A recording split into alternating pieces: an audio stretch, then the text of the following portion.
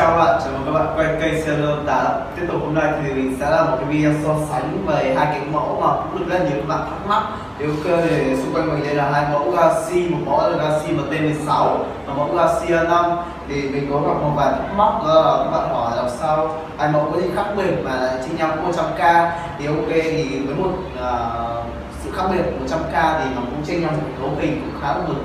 Thì ok thì mình hôm nay mình sẽ giải đáp cho các bạn xem là khác nhau ở chỗ nào nhé ok, thì mình sẽ quay cận cảnh cho bạn xem thôi nhé ok, thì với sự khác biệt 100k thì các bạn nhìn này, thứ nhất là hai cái mẫu dáng và các bạn thì cái ghi đông nó khác nhau, đúng không? Và cái bộ khung thì nó cũng khác nhau rồi thì ok, thì đầu tiên thì các bạn nhìn cái bộ khung của Galaxy uh, A5 A5 thì sẽ là một bộ khung nó thiết kế là khung hợp kim nhôm nha các bạn. Vâng đây các bạn thấy không? Nó sẽ là cái mối hàn à, kiểu vây cái như này là hợp kim nhôm. Và con à, Galaxy MT16 sẽ là kiểu à, à, đây khung thép thôi. Nó sẽ là kiểu mối hàn ờ, như này nha các bạn. Đây khung thép các bạn nhìn mối hàn các bạn có thể phân biệt được này. Thì ok thì đầu tiên thì các bạn à, thì các bạn nghe tới đây thì các bạn cũng biết là hai mẫu này nó khác nhau cái gì mà giá lại chênh nhau 100 k đúng không?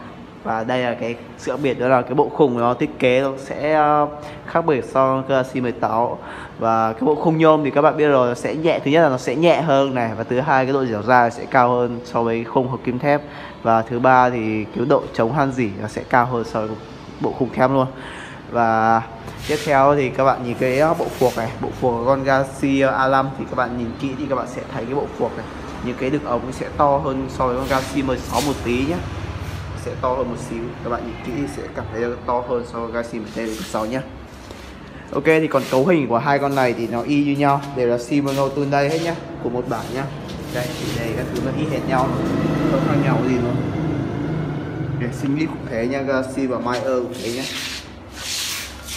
Ok, phanh thì các thứ đều như nhau. Thì ok, thì sự khác biệt. Tranh nhau 100k thì nó chỉ khác nhau cái phuộc và bộ khung thôi ok thì bạn nào có thắc mắc có thể qua video này của mình. Nếu các bạn có cảm thấy video này uh, bổ ích cho mình thì có thể cho mình một like hoặc một subscribe để mình có thể làm được nhiều video hơn cho các bạn coi nhé.